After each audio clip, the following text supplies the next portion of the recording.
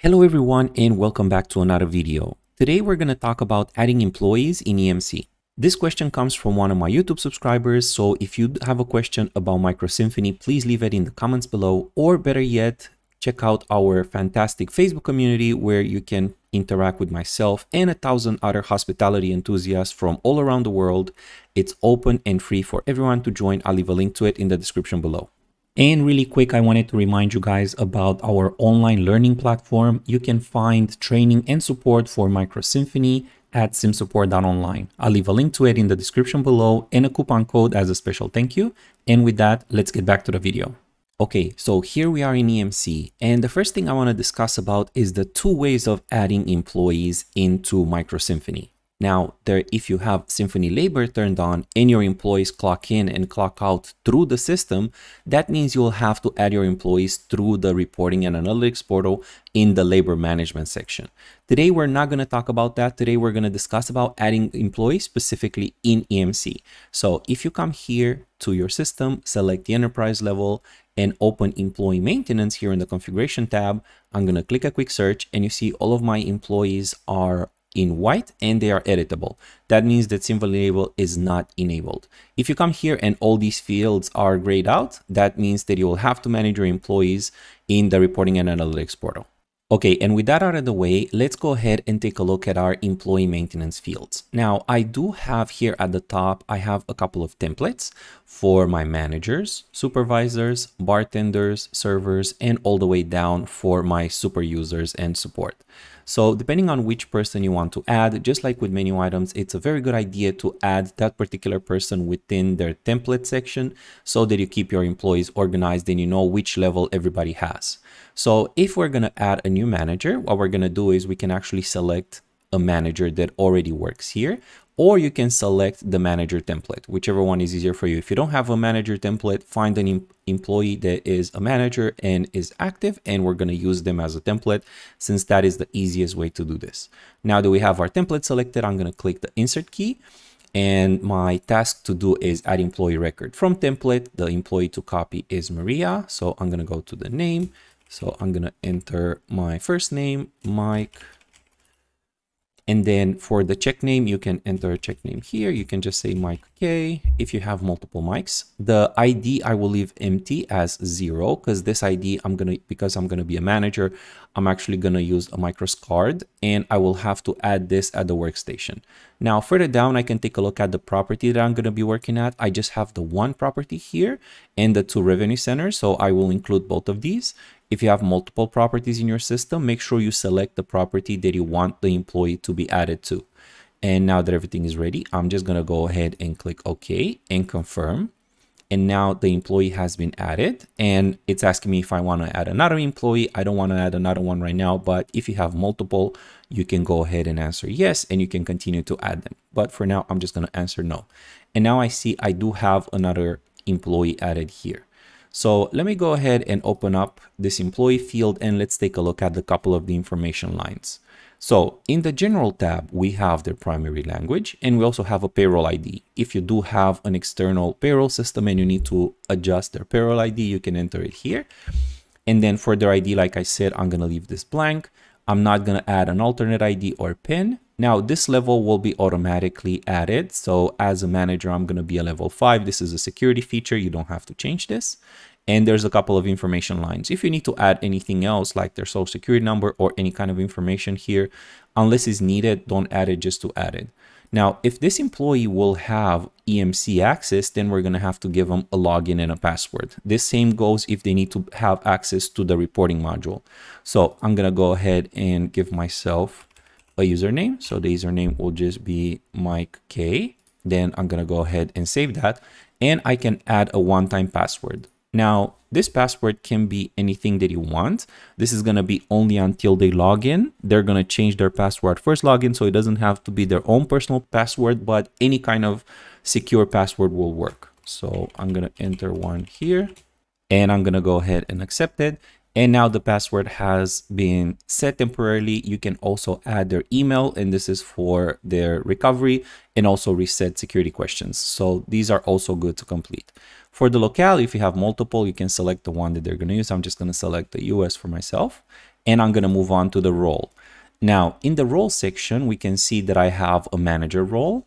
So you can use the little ellipses here if you need to change it. But since we already used the template, the role is already completed correctly. And we also have a zone location. So if I want to select a different area, let's say I have multiple properties and I want this manager card to operate at multiple properties, then I can add multiple roles here. So they can be a manager here, or maybe they're just a server at another location.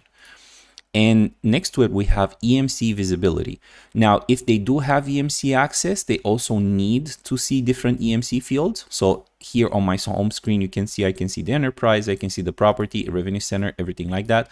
And this is because I have visibility over the entire enterprise. So if this particular employee only needs access to the property, you can just select the property or even just a revenue center or a zone. For now, I'm going to leave it as enterprise and then I'm going to save again and we're going to move on to the next field, which is reporting. Again, this is optional, just like with EMC access. They can still do front of house operations, but if you do want them to have access to the reporting and analytics portal, then we're going to activate their user here. We're going to enter their last name again. And also we're going to go into the user role settings. For the user role, I'm going to say this is going to be a store manager. The language, I'm going to leave it as English. For the time zone, I'm going to select Eastern and the org level is going to be my enterprise. And then I can go ahead and save.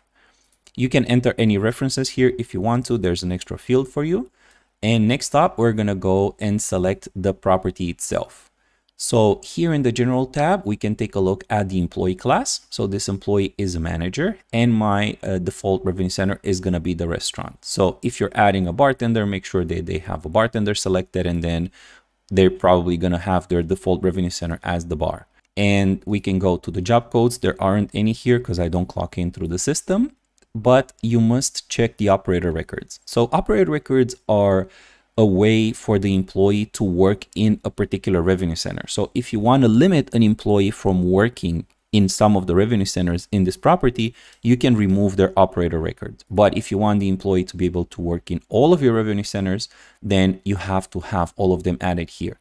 And you can add more by clicking the insert key if these are not all uh, created. I only have two revenue centers and I cannot add any more. Now with each one, I can also take a look at some of the option bits that I have. So I do have a cash drawer assigned if I need to use a cash drawer. You can select either one or two.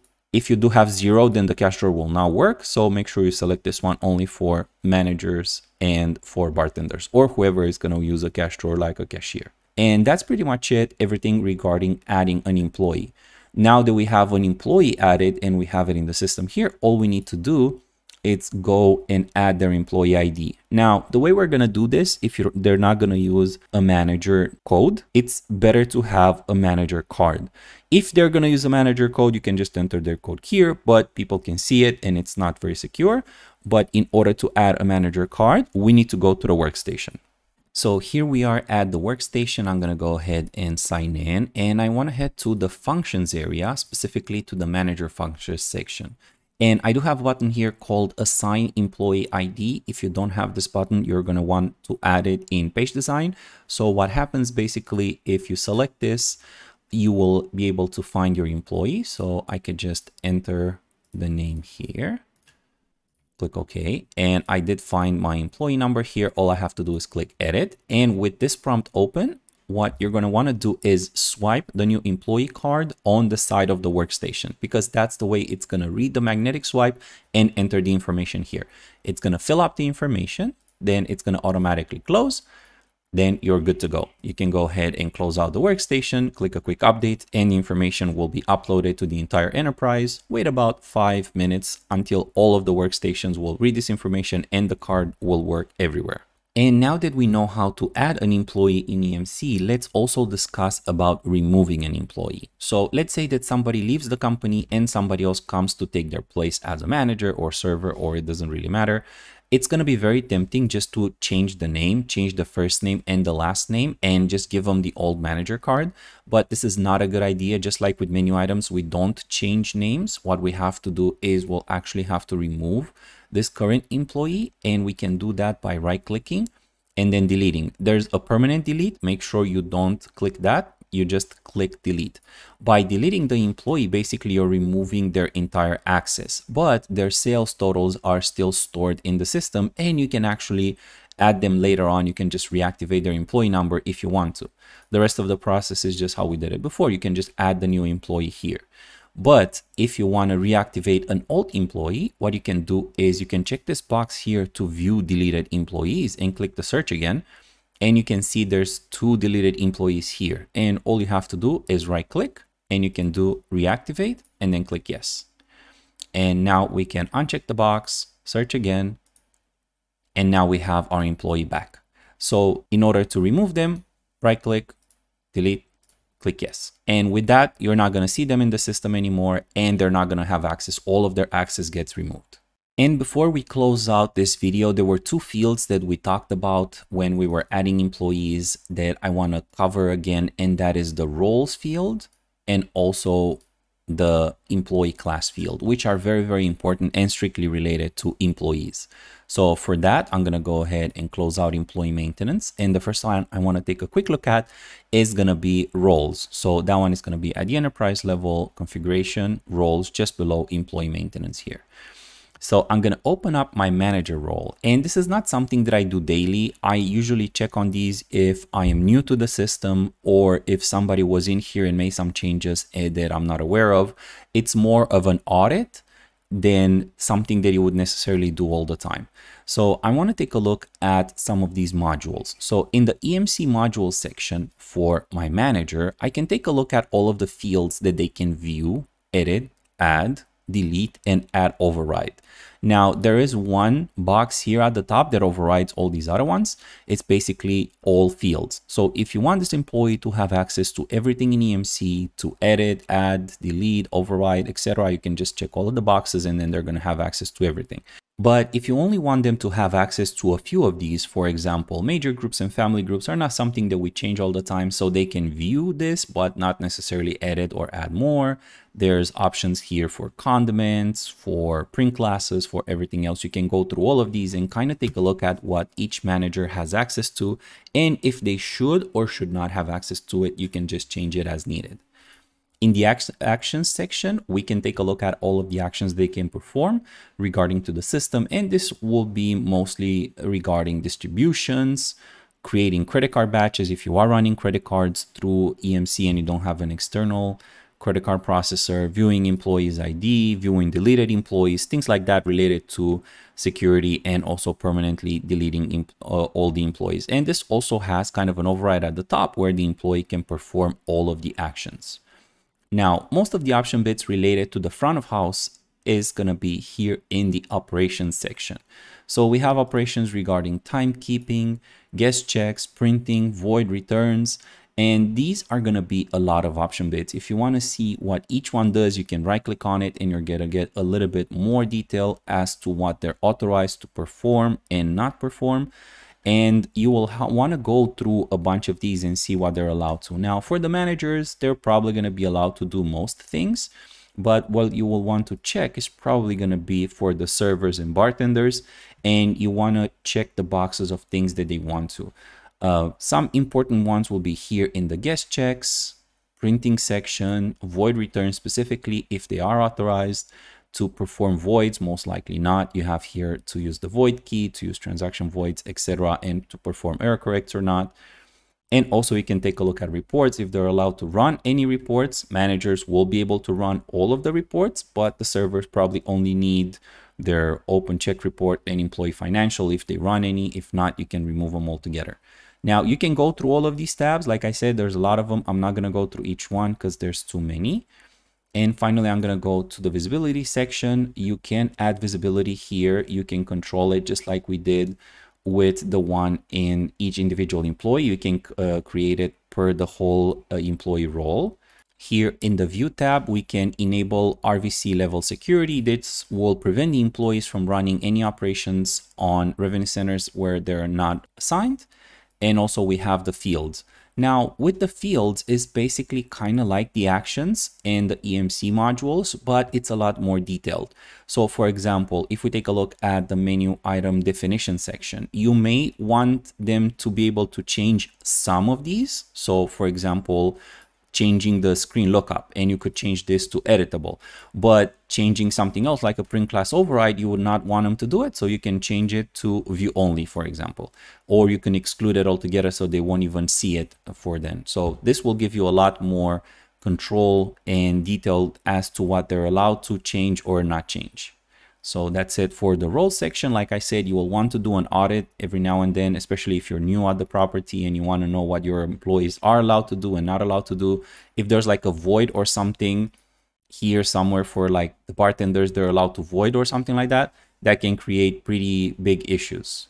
The final module I wanted to discuss today is employee classes. Now, in order to access them, you will need to select the property level. You won't be able to find them at the enterprise level or RVC. So I'm going to select my property here. And then under the personnel section, I'm going to open up employee classes. And we have a few classes. You don't need to be very, very specific, but I do have manager, bartender, server, and host. If we take a look at one of these, let's take the server as an example.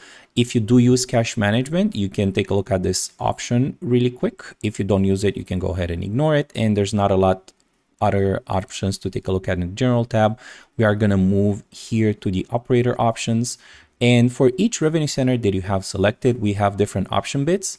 And the option bits that we select here in the employee classes are items related to table numbers being required when be uh, beginning or picking up checks, number of guests being required for beginning checks, and everything else like that. Here's where we have the pop-up operator or stay down operator.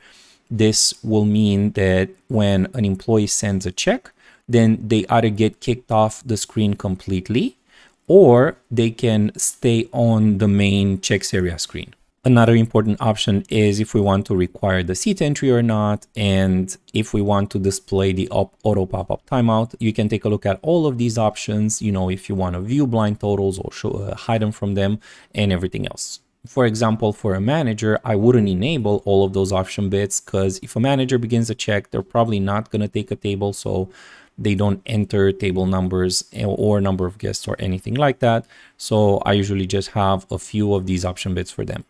And similarly for a bartender, if they work in the bar, they will probably need to enter the number of guests, but you don't want them to enter table numbers because most of the tab times they just use tabs. They don't really use tables unless you have uh, your bar stools assigned as table numbers. And that's pretty much it for the employee classes section. If you are looking for a written version of this video, and want to remember how to configure your employees in EMC, I do have one on the blog here on our website, and I'll leave a link to this in the description below if you do want to bookmark it and have it as a reference for later on. If you have any questions about adding employees in EMC, go ahead and leave them either in the comments below here, this YouTube video, or go on our website and you can add comments there as well. Or better yet, you can join our fantastic Facebook community that has over a thousand hospitality enthusiasts that can help you out with any of the questions. All the resources are open and free for everyone to join. I'll leave a link to all of them in the description below. And if you haven't subscribed to the channel yet, make sure to subscribe and also leave this video a big thumbs up. And as always, thank you for watching. I'll see you again in the next one.